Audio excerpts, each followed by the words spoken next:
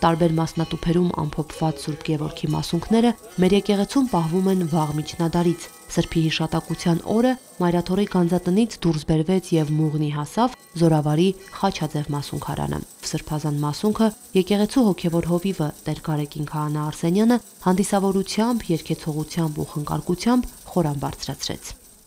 Աստծո ուժը մեր վրա պետք է լինի, մեր իհարկե մեր աղոթների շնորհիվ, որ աղոթենք կհասնենք։ Այսօր ես մեծ բավականություն ստացա պատարակից եւ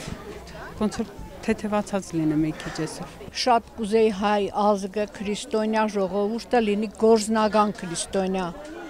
Գործնական, որ լսեն խոսքը ու կադարեն, որովհետև հավատը առանց գործի մեռած է։ Ուզում եմ մեր հավատը գործով ամրապնդենք ամեն ձևի ամեն բնակավարում։ Խնդրում ենք Զորակլուխ Հիսուս Քրիստոսից, որպիսի մեր աշխարհում լինի խաղաղություն, Արցախահայերին լինի հոգու համբերություն, մխիտարություն եւ Սուրբ Գևորգն էլ թող զորավիկ լինի մեր սահմանում կանգնող բոլոր մեր զինվորներին, մեր տղաներին։ Ամեն անգամ յուրովի է Սուրբ Մասունքի զգացողությունը։ Այս անգամ եւս ինչքանով որ կարողանում ենք կրենք եւ փոխանցենք, քանզի ինչպես մեր Տերն է ասել, ամեն ինչ տրվում է ըստ մեր հավատի։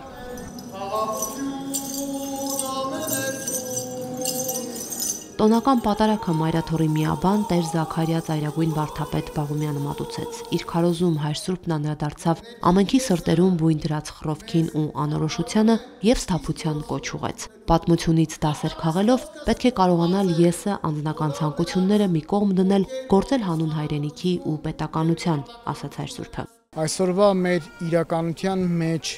սև գույները շատ են։ Մեկս մյուսի հանդեպ լծված ենք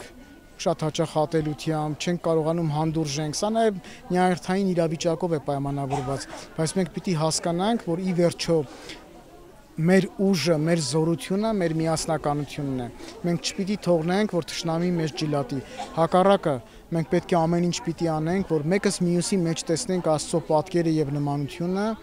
եւ փորձենք նաեւ կերտել այն հայրենիքը, որտեղ որ մենք ուզում ենք ապրել։ Մարդիկ աղոթում էին մեծ զորավարի բարեխոսությունը հայցում եւ տիրոջից իրենց համար Սուրբ Գևորգի անսասան հավատքից մի նշույլ խնդրում։ Հավատք, որ Կապադովկիացի քրիստոնյա ընտանիքի զավակին հավիտենական կյանքի արժանացրեց։ 303 թվականին նա գլխատվեց Դիոկլետիանոս կայսեր հրամանով, քանի որ հրաժարվեց կատարել քրիստոնյաներին հալածելու կայսեր հրամանը։ Հավատք, որ այսօր էլ շատերի համար վարակիչ օրինակ է։